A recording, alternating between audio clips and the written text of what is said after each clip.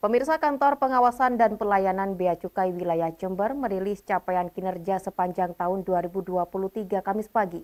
Hasilnya selama periode tersebut, KPP Bea Cukai mencatatkan kinerja positif dengan meraup penerimaan negara melebihi target yang telah ditentukan, yakni 104,07 persen atau 1,18 triliun rupiah. Capaian tersebut disampaikan dalam acara Bea Cukai Jember Award yang digelar di Kantor Pengawasan dan Pelayanan KPP Bea Cukai Wilayah Jember, Jalan Kalimantan, Kecamatan Sumbersari, Kamis pagi. KPP Bea Cukai Jember yang juga mencakup wilayah Kabupaten Situbondo dan Bondowoso berhasil mencatatkan kinerja positif dengan meraup penerimaan negara sebesar 1,18 triliun rupiah melampaui target yang ditentukan oleh Dirjen Bea dan Cukai Kementerian Keuangan Republik Indonesia dengan prosentase 104,07 persen. Dari total capaian tersebut, 88,6 persen penerimaan negara di antaranya berasal dari sektor kepabeanan.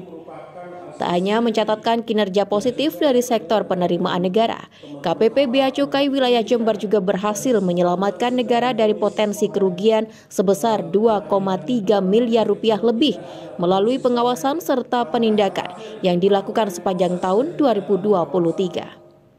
Upaya pengawasan dan penindakan meliputi pemusnahan peredaran lebih dari 3 juta batang rokok ilegal, 350 gram tembakau iris, 550 liter minuman keras, 3,88 gram ganja, 5 gram tembakau sintetis, ribuan okerbaya, serta ratusan alat berat beserta suku cadangnya.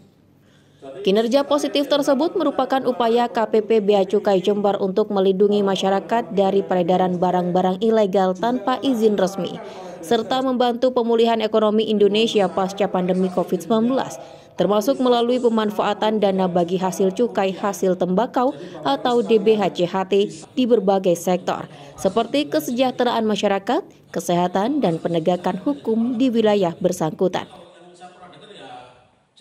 Alhamdulillah tahun ini kami Bea Cukai Jember dari sisi penerimaan negara kami berhasil mencapai target sebesar 104,07 persen atau secara nilai rupiahnya kami berhasil mengumpulkan penerimaan negara sebesar 1,18 triliun rupiah.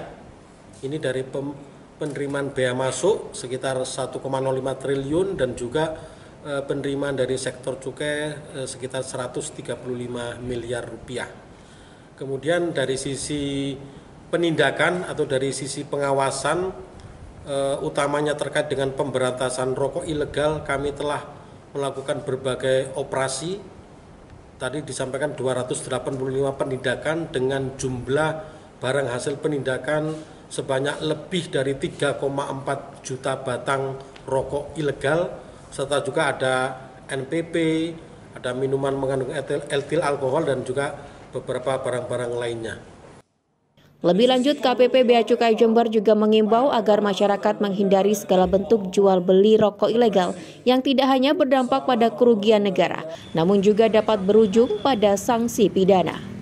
Ana Hidayat, FTV Jember, melaporkan.